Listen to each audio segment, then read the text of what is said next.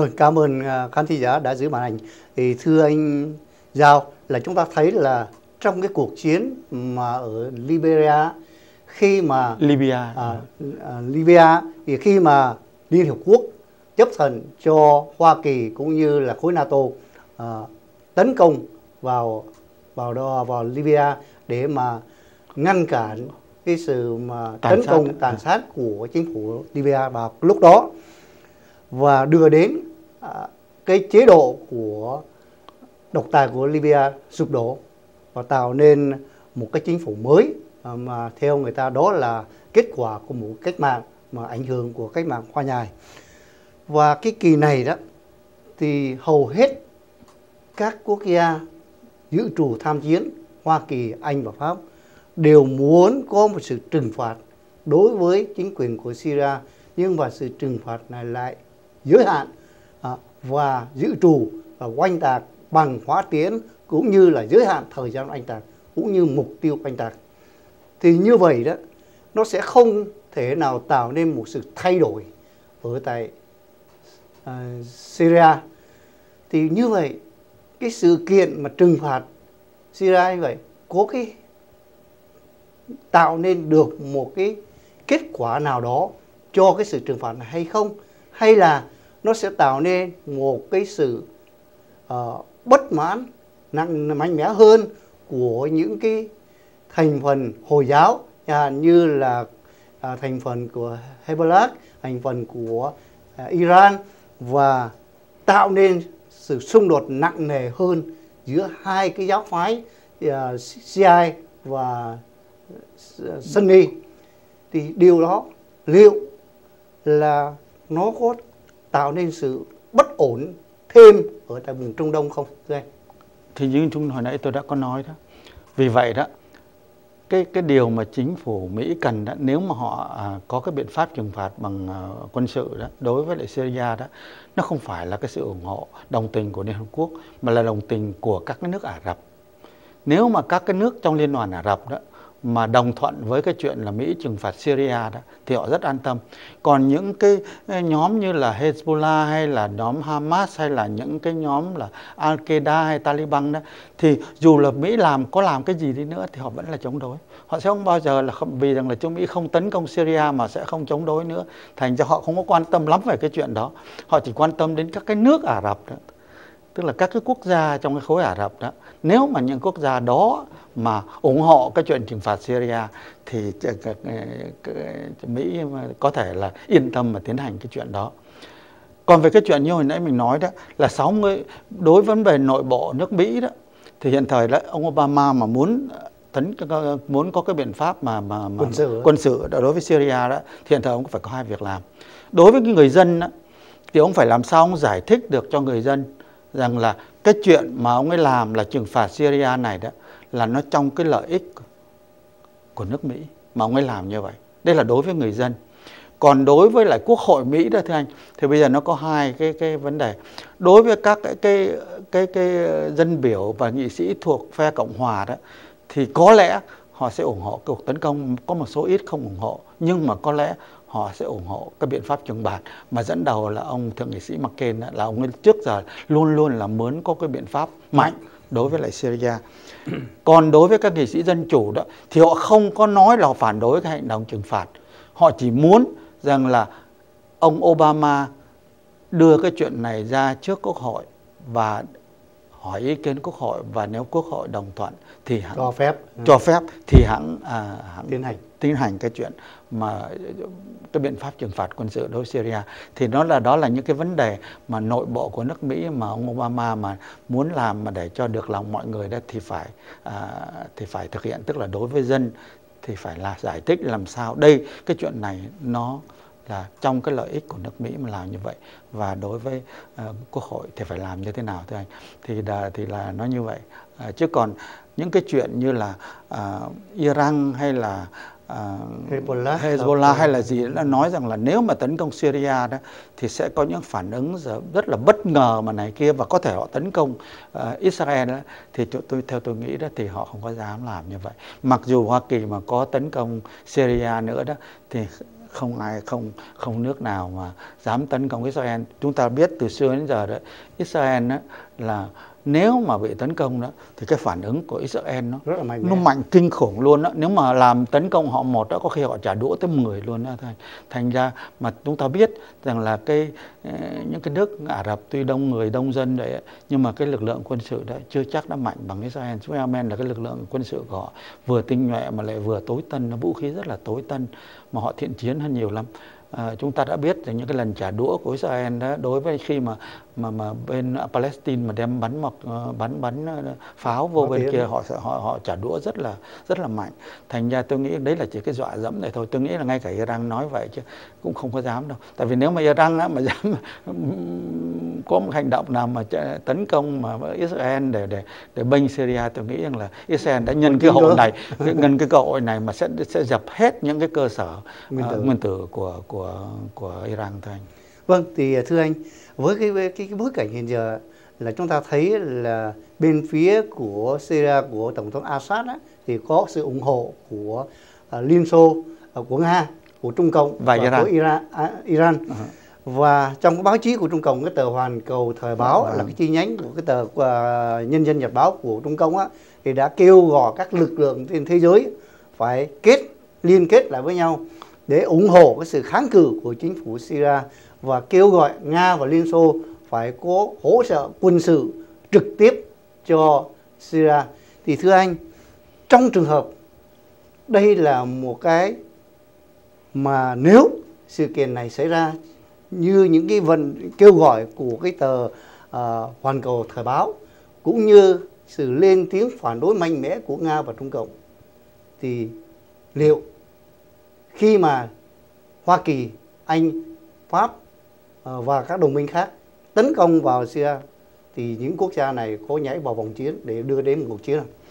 Thưa anh, những cái tổ chức nhỏ nhỏ đó như là Hezbollah hay là Hamas hay là Al-Qaeda hay là Taliban đó họ có thể họ tăng cường những cái chuyện mà tấn công vào những cái uh, cơ sở của Tây bên Tây phương như tòa đại sứ hay là này cái các thứ nhưng mà các cái nước đó và các quốc gia đó thì tôi nghĩ là không có quốc gia nào sẽ uh, có một cái hành động có giơ một cái ngón tay nào mà để đối đầu với lại Mỹ đâu.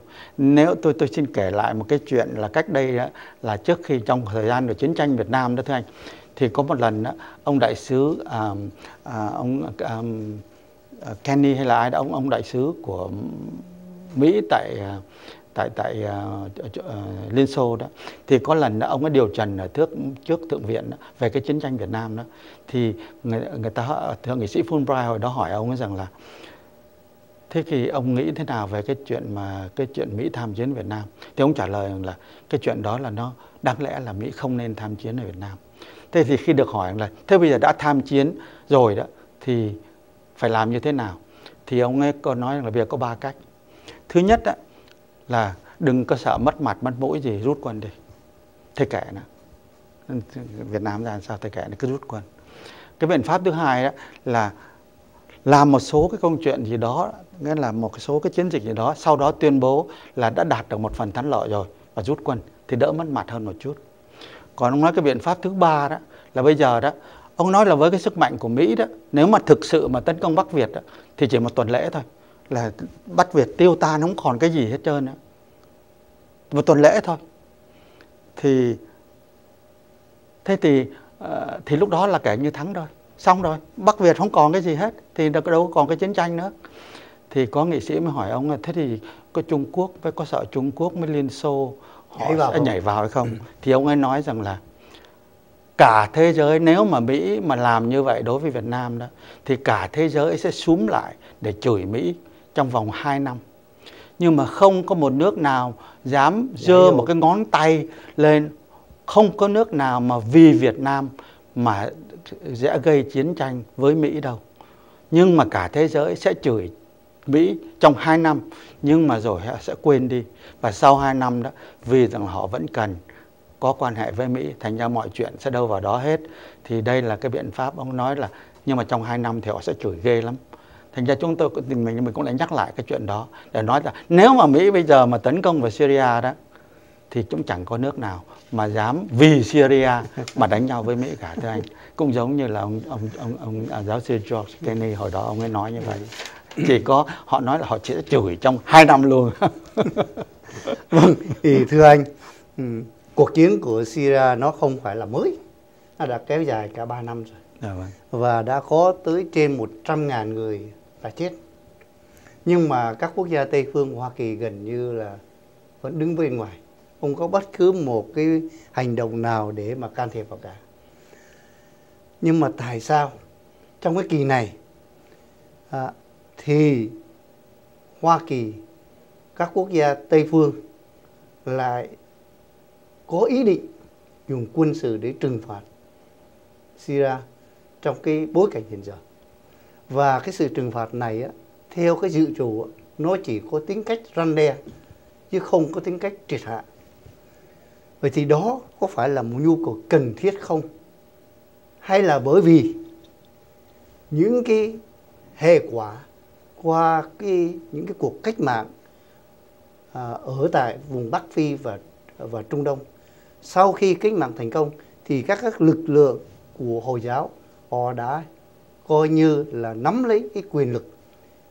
Và như ở Ai Cập hiện giờ, nó càng tạo nên những rối loạn và không có tạo nên những thuận lợi nào đối với các quốc gia đó.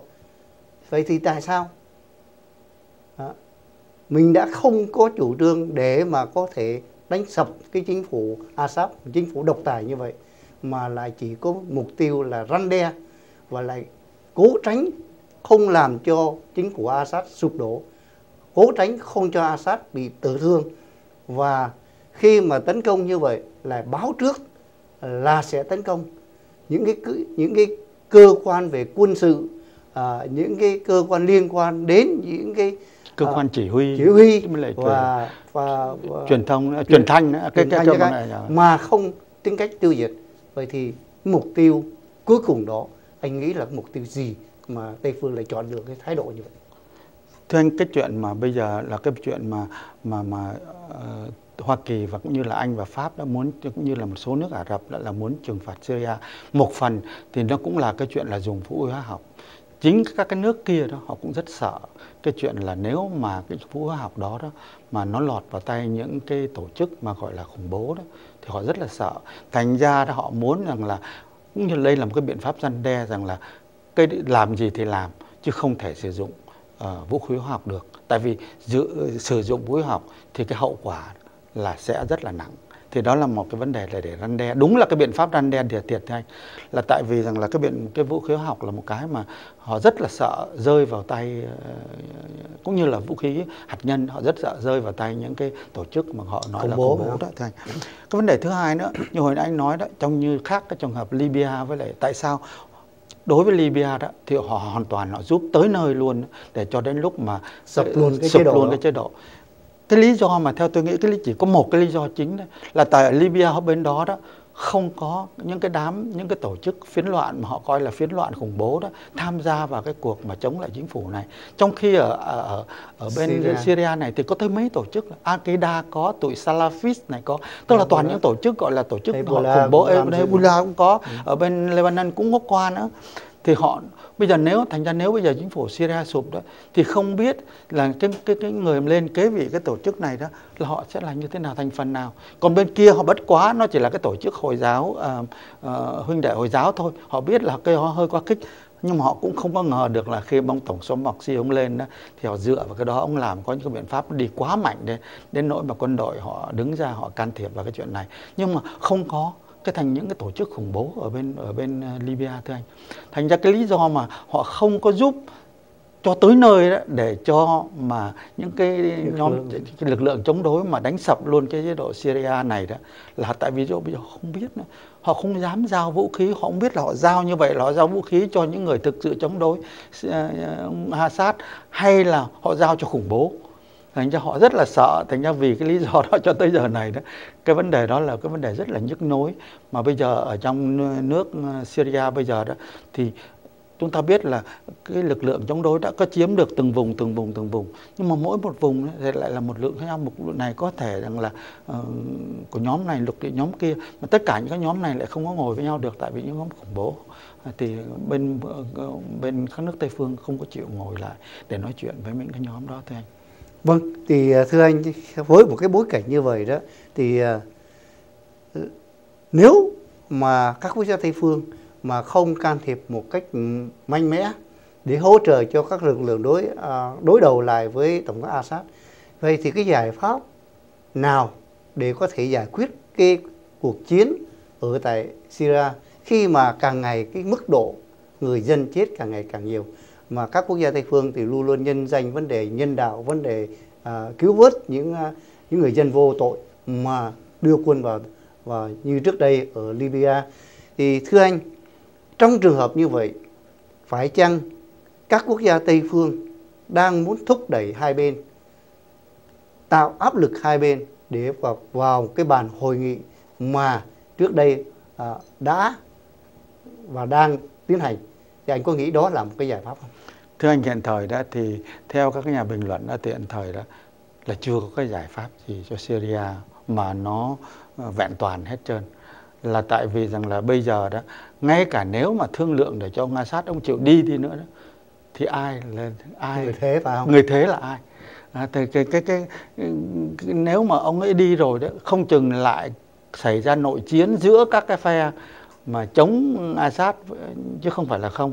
Thành ra cái đó thì hiện thời bây giờ nếu chưa giải quyết được cái chuyện đó đó thì các cái nước Tây phương hiện thời cũng như Liên Hợp Quốc bây giờ đang còn ở trong một cái thế bí và họ nói rằng là cái chuyện cái tình hình cái chuyện Syria này cái vấn đề Syria này nó có thể kéo dài vài vài năm nữa cũng không chừng nữa. là tại vì hiện thời nó chưa có cái giải pháp nào vẹn toàn uh, để mà giải quyết cái vấn đề này là tại vì uh, lật đổ cái chính thể Assad là một ai lên lại là vấn đề vấn đề khác nữa. Dạ, vâng. vâng, từ uh, quý khán giả chúng anh em chúng tôi vừa thảo luận về vấn đề tình hình Syria và chúng ta tiếp tục theo dõi trong cái thời gian sắp tới nó sẽ diễn đến như thế nào và chắc chắn còn nhiều những cái buổi mà chúng ta sẽ trao đổi với nhau để từ đây chúng ta rút được những cái bài học cho đất nước chúng ta trong tương lai. Xin uh, anh gửi lời chào đến khán giả của đài.